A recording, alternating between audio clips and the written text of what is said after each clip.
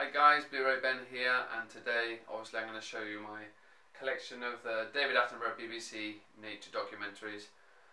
I'm, you know, I'm a real fan of David Attenborough. I love everything that uh, you know he's in, he comments on, and uh, yeah, BBC they bring out some really, really good documentaries. And my favourites happen to be the nature documentaries, obviously uh, narrated by David Attenborough or Sir David Attenborough. So yeah, I'm going to just go through these. I haven't got them all, so what I want people to do is, uh, you know, if you're into these series and you know a bit about them, definitely recommend some that I don't have. I do have, I think, the main ones, but there are a few out there that I still need to get. So yeah, definitely recommend them to me and uh, tell me if they're worth picking up on Blu-ray. I'm going to get straight into this, and yeah, obviously give this video a thumbs up. Uh, and leave any comments down below because I always, uh, you know, love hearing from you and I will always answer your comments. So I've actually organised uh, the ones I've got in my set you know, uh, by uh, by the date of the release. So we'll start with the ones that first came out up right until right up until the you know the, the latest releases. Uh, yeah, so the first one is Life on Earth, and this is actually the 60th uh, you know uh, anniversary edition with a really nice slip. Absolutely love this one. It's probably one of my favourites, even though it is you know one of the older ones. Uh, the first few episodes are a bit boring because they're talking about you know how life started and things like that, and he's looking at fossils, which is all good it's all good, but you know what I wanted to sort of get to is you know the animals and things like that, which I most enjoy. So yeah, the the later episodes are definitely better than the uh, the first ones for me. But this is such a great set and uh, you know really really well done. So I definitely recommend picking up that. It's 1979. Okay, the next one I think is 1990 and it's Trials of Life. And uh, this is another one that I really enjoy. You know, it goes all the way around the world you know, uh, uh, following animals and things like that. And as you can see on the front cover here, you know, there's a really good sort of uh, scene the killer whales, you know, snatching uh, seal pups from the beach. I think it's in uh, Patagonia in Argentina. So yeah, but really, really good. And uh, this one's got really, really good story. You know, that follows you through, you know, the trials of life and when they're born and when they're sort of growing up, and then hunting and you know when they die. So it's actually really well done. And I love all the episodes in this. That's Trials of Life. Next one is uh, the Blue Planet. I actually recently picked this up in uh, in the double set of the Blue Planet 1 and 2.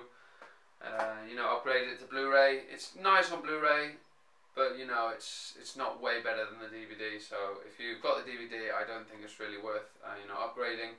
Obviously, Blue Planet 2 on Blu-ray looks absolutely amazing. But yeah, I wanted to pick them both up in the set, so I did.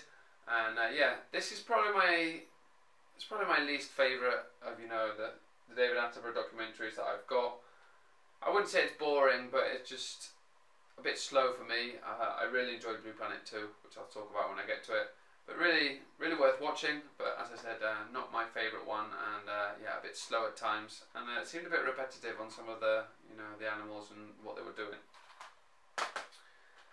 Okay, the next one, of course, I've got to have this in my uh, collection. It's Planet Earth, a complete series, absolutely amazing. So so many great uh, episodes from this, so many great animals, all the way around the world. And then this is the one you know that I when I watched this, I sort of was blown away and sort of uh, you know realised that yeah, these DVD, these BBC documentaries are absolutely amazing. And uh, yeah, really happy to have this on Blu-ray. It looks amazing. Okay, Life. This was one that I didn't pick up for ages because I thought it was just going to be repeating things that you know they've been I've been watching in the the previous sort of documentaries. But when I saw it, you know, uh, you know, for cheap, I picked it up, and actually it was really good, and I really enjoyed it from start to finish. And uh, so happy, you know, to have seen it, and it'll be one I'll be rewatching pretty soon. So yeah, and it looks amazing Blu-ray. Okay, Frozen Planet. This is not many people's uh, you know favorite, but I did really enjoy it. Obviously, you know, I mainly uh, filmed in the Arctic and Antarctic regions and of course you know follows whales and polar bears, arctic foxes, and you know seals and things like that. But I'm really fascinated by the uh, you know the, the north and south poles and you know the animals how they survive there. So I really enjoyed this, and it's really well you know filmed. You know it's difficult to film the Arctic. You know all it is is sort of white all the way through, and I think they do a really good job. And uh, yeah, absolutely amazing series.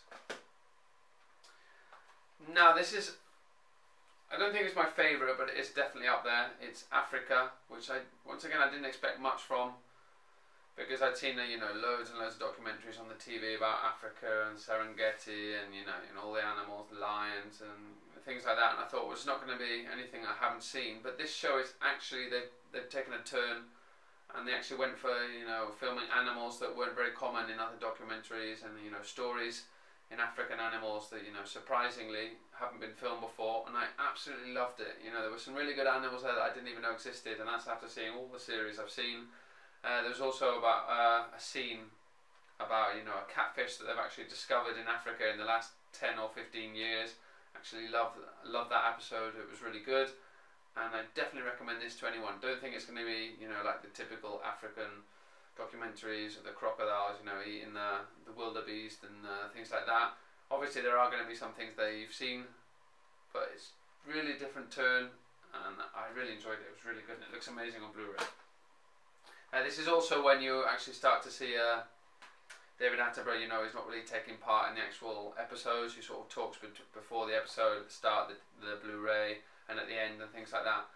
So this is when you start realizing that you know he's getting a bit old, and he wouldn't, he wasn't able to sort of walk around Africa and Serengeti and things like that and film everything. Okay, the next one is Life Story. For me, this was just sort of an okay uh, documentary. I did really enjoy it. Once it very uh, similar to the Trials of Life for me, you know, following it from the birth to death but I thought it was really good, and the one, the scenes where they follow the elephants, I thought was really, really heartwarming, and uh, I really enjoyed it. Uh, and yeah, really good. Okay, the next one isn't a typical one that people sort of have or sort of rave about. It's a Great Barrier Reef. I actually picked this up last year because on my honeymoon I was going to go to Australia, and obviously wanted to go and snorkel and dive in the Great Barrier Reef, which we did, which was absolutely amazing.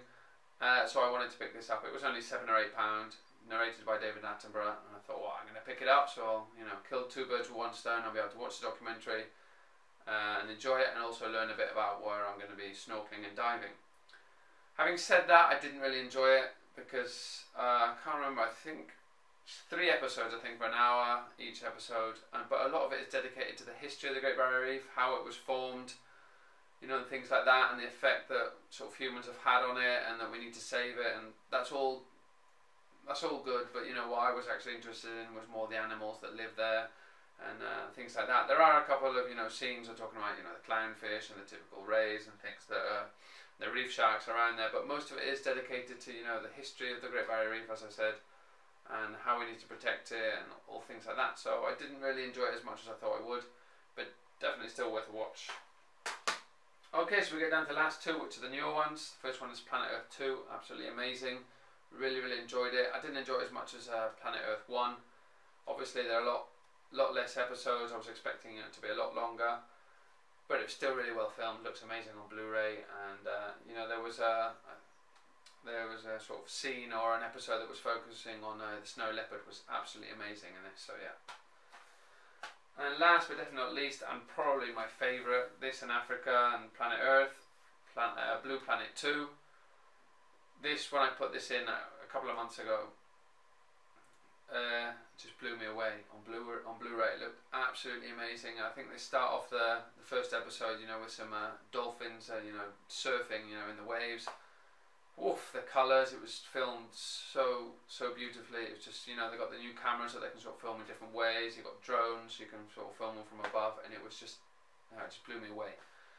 So if you're not into the documentaries and things like that, and you just thought you want to get into it, you know, watch my video, I highly recommend this one on Blu-ray and watch this, and you will be mesmerised. Absolutely amazing. And this is what I'm going to be watching probably once a year, and I, it just really opens my eyes. You know, what's going to be, you know, the way to film animals in the future, and different cameras and ways they're going to be able to film. Oh, I'm looking forward to it. What I'm not looking forward to it is David Attenborough passing away because he is quite old now, and I don't know who's going to replace him, and he'll never be able to, you know, uh, be up to his level. But there you go. So there's my collection. I don't want this video to go on too long. As I said, give me some recommendations, give this video a thumbs up, and subscribe to my channel if you haven't. Take care, guys.